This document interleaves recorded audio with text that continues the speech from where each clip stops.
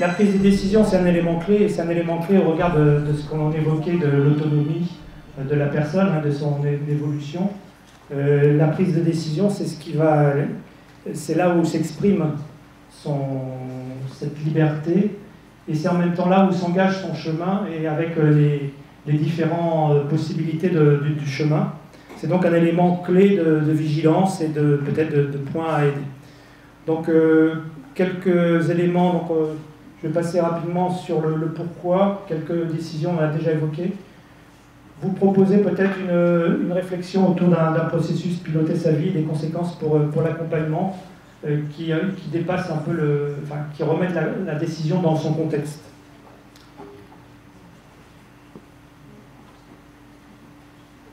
Euh, je passe rapidement là-dessus puisque euh, le pourquoi de la décision, c'est que l'individualisation, et la prise de risque de l'accompagner, euh, l'individualisation offre beaucoup de, choix à faire.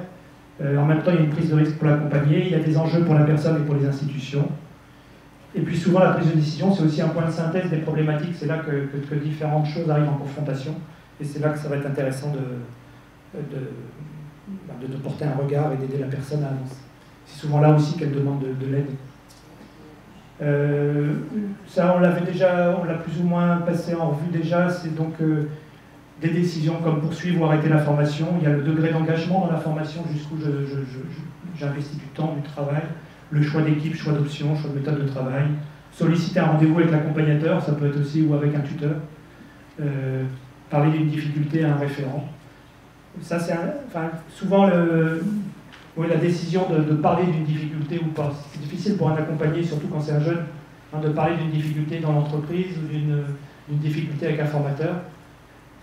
Il y, a, une prise de décision à un moment donné, et souvent quand l'accompagnement euh, arrive à ce, sur ces points-là, c'est une aide importante. je passe rapidement, vous l'avez sur les, documents qui vous ont été remis, c'est une liste de bibliographies.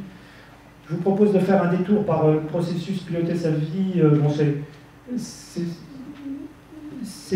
comment J'ai essayé de, mettre euh, un peu différents éléments euh, par rapport à une prise de décision qui, et par rapport à l'accompagnement. en fait, à la base, on a des désirs que l'on va transformer. On a un désir qui va se transformer en acte avec un certain résultat. Un désir, si on prend euh, Paul Diel, ça pour euh, une définition des buts, promesse de satisfaction, une intensité. La transformation du désir en acte se fait avec les compétences, et tout ça se fait dans le cadre d'une situation avec des acteurs, une certaine temporalité, des contraintes, etc. Euh, donc ça, c'est un cadre que je vous propose face à la prise de décision et à l'accompagnement. J'étais un peu démuni au début de, ma carrière, et c'est un peu le, représentation que je m'en suis faite, que je, que je vous propose. L'une des difficultés, c'est que des désirs, souvent, on a, on a plein, donc il faut arriver euh, par rapport à ces désirs, en choisir un. Et puis, il y a des désirs qui sont redirigés, des désirs qui sont abandonnés. Euh, et donc, on a ce tri à faire euh, qui se fait souvent à travers nos valeurs, avant, à travers ce que certains auteurs appellent un élan vital, désir essentiel, quelque chose qui donne l'axe un peu de, qui oriente la, vie, des besoins vitaux, puis des expériences, capacités, représentations de la situation. Euh, point important, souvent en accompagnement aussi, c'est euh, comment on redirige et comment on aide à abandonner des désirs. Et souvent, c'est une façon de sortir par le haut, c'est souvent quand même comment tel désir peut être réincorporé, réintégré dans un autre projet, hein, et comment on peut le, réutiliser. Les résultats euh, ont des conséquences avec une évaluation qui est faite, et puis euh, cette évaluation, elle se fait aussi en termes d'efficacité, d'énergie, d'adaptation, mais aussi est-ce que c'est conforme à mes attentes? Hein, Est-ce que ce qui s'est passé finalement, c'est conforme à mes, attentes? Dans toutes les neurosciences aujourd'hui, on est souvent, enfin, il y a, des, orientations autour du fonctionnement du cerveau qui le montrent comme une machine un peu à prévoir et qui se met en termes d'anticipation et de prévision. J'ai des attentes, eh, il y a un écart ou pas par rapport euh, aux attentes, et cet écart euh, suscite des sentiments, sentiments euh, d'adaptation, famille de la joie, et des sentiments de risque ou de mauvaise adaptation, qui sont plus de famille de la peur, de, la colère et du dégoût.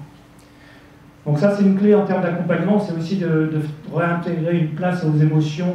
Hein, si, on, si, on, accepte cette hypothèse-là, c'est de se dire, bah, finalement, euh, quand je suis dans la joie, dans des sereins, c'est plutôt que je suis bien adapté à mon environnement. Si c'est pas le cas, il y a peut-être soit des risques, soit des choses. ne pas dire que je suis inadapté, mais je suis dans des situations peut-être plus fragiles.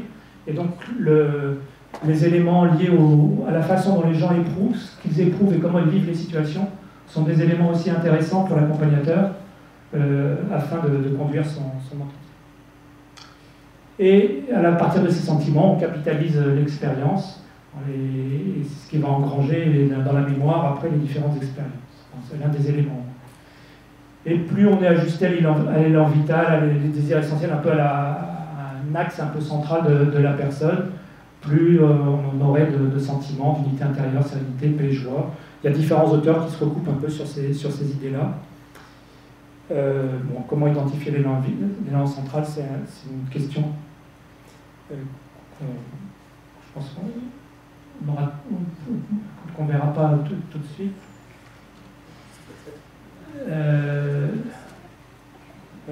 Enfin, sauf si on a le temps, on va pas le temps, j'ai signe. ok, donc juste pour vous dire deux mots, pour vous expliquer, je vous laisserai découvrir dans, le, dans, les documents, c'est la, réorganisation un peu en système des, éléments que j'ai posés juste avant. Hein, c'est-à-dire, en fait, on a un désir qui, est, qui, est, qui va se réaliser en acte à travers des moyens, on a des valeurs qui vont aider à prendre des décisions, on a euh, un élan central, des sentiments qui vont aider à, faire euh, évoluer ces, éléments. Et euh, si on repose cette, approche systémique, on va retrouver tout un tas d'éléments euh, qui, vont, être support au questionnement de l'accompagnement. C'est-à-dire qu'il faut appréhender la situation. En fait, si on a une interaction avec l'environnement, il faut appréhender la situation.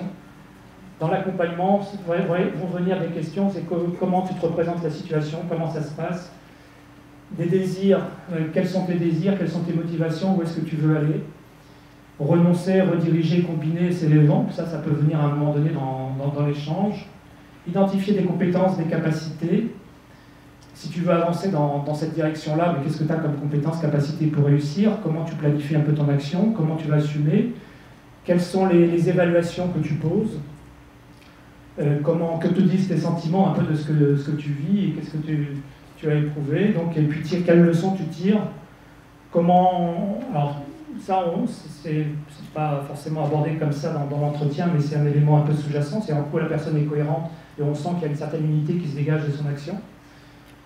Et puis, euh, bah, ça veut dire aussi qu'il faut distinguer la fin et les moyens. Quelquefois, ne pas avoir un poste n'est pas la fin du monde.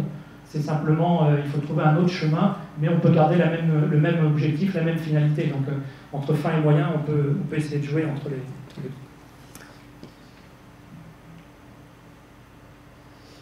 Donc, si j'enlève le système, reste un peu toutes les, thématiques et derrière des questions, hein, des questionnements que l'on peut utiliser en termes d'accompagnement qui recouvrent un champ à peu près cohérent et assez, vaste, je pense, de, euh, des questions à poser et qui vont permettre à la personne de cerner tous les éléments pour prendre sa décision. On ne lui dit pas quelle est sa décision, mais on va pouvoir cerner un certain nombre d'éléments clés et s'assurer à la fois qu'il les a pris en compte et à la fois euh, que ça ait une certaine cohérence pour pouvoir être, euh, prendre une décision dans des conditions assez saines.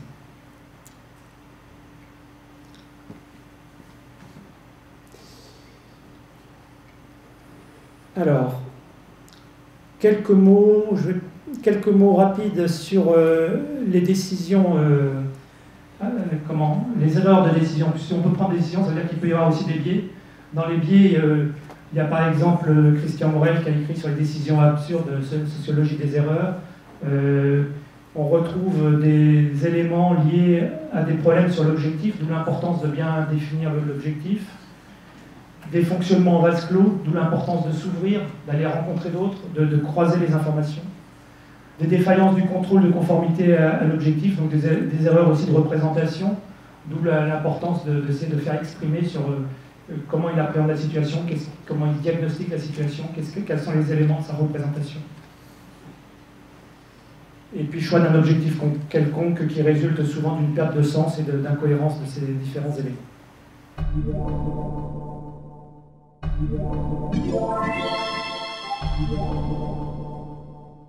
Thank